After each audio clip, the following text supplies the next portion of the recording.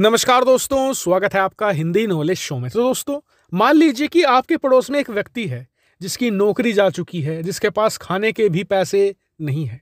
आप उसकी मदद करते हैं, आप उसे खाना देते हैं, दवाइयाँ देते हैं, उसका ख्याल रख रहे हैं। इतना ही नहीं, ज़रूरत पड़ने पर उसके घर में कुछ टूट फूट हो जाती है तो उसे भी आप सही करवा देते हैं।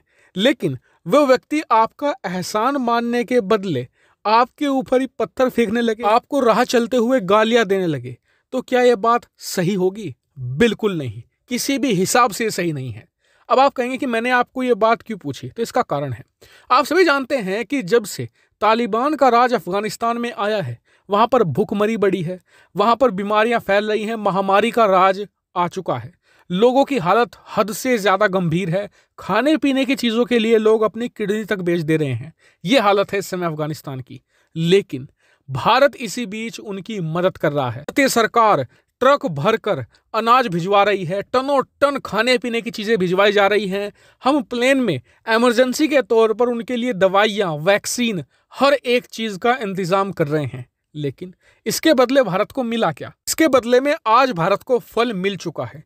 फल हमें ये मिला है कि अफ़गानिस्तान के अंदर इस समय तालिबान का राज है तो तालिबान अपनी सेना खड़ी कर रहा है और उसी सेना में से इन्होंने अपनी एक बटालियन का नाम रखा है जी। नाम क्या रखा है?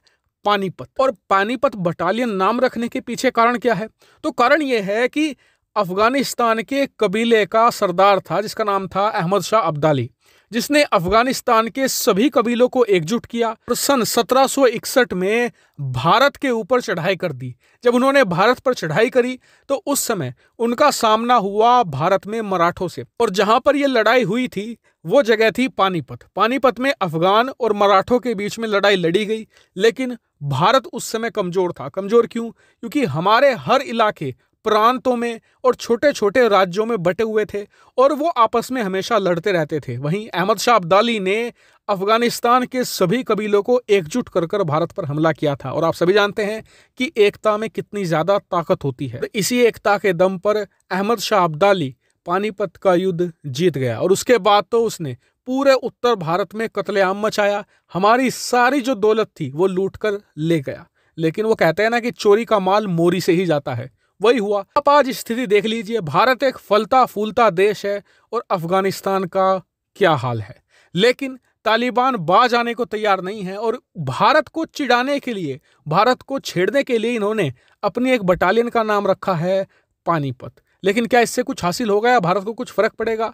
कुछ भी नहीं। उल्टा नुकसान हो सकता है क्योंकि भारत इस बात को देखकर शायद अफ़गानिस्तान को मदद भेजना बंद कर दे। लेकिन मैं कहूँगा कि भारत सरकार ऐसा ना करे, क्योंकि हमारा तालिबान से कोई संबंध है ही नहीं। हम तो अफ़गानिस्तान के लोगों की मदद करते हैं। अफ़गानिस्तान के लोग पहले भी भारत का समर्थन करते थे, आज भी करते हैं और आगे भी भारत का ही साथ देते रहेंगे। ये महत्वपूर्ण बात है। बाकी आप इसके बारे में क्या सोचते हैं? कमेंट करके ज़रूर बताएगा। चैनल को सब्सक्राइब कीजिएगा। फ़िलहाल इस वीडियो में इतना ही। Thank you very much for watching video